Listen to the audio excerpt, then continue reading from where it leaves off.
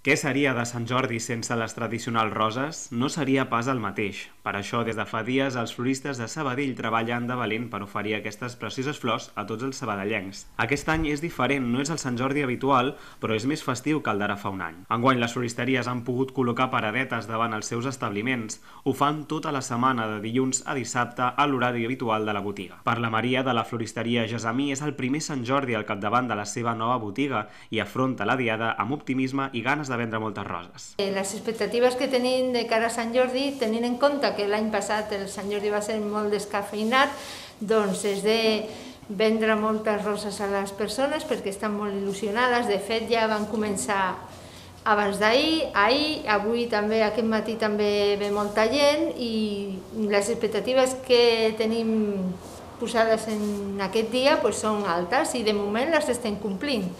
Ara, ara suposo que demà encara més.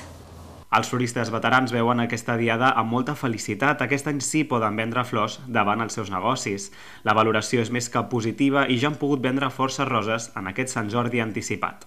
Demà se'ns presenta molt bé, aquest any, aquest any sí, i avui ja estan començant a venir gent perquè tenim obert tot el dia, demà també, i la veritat és que estem molt agraïts que la gent estigui venint a comprar les roses a la botiga i se presenta molt bé, tenim moltes roses preparades i la veritat és que jo suposo que tota la floristeries estan molt encantats que aquest any la gent vingui a buscar la rosa a la floristeria.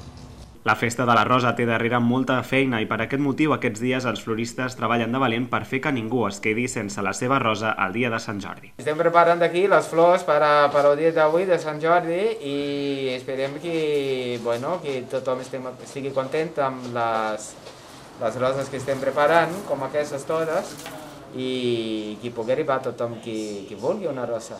Aquest any sí sembla que el virus va morint amb les guspires del drac i mica en mica les tradicions van tornant a una certa normalitat. Esperem que aquesta bonica diada ens doni forces i amor per seguir endavant.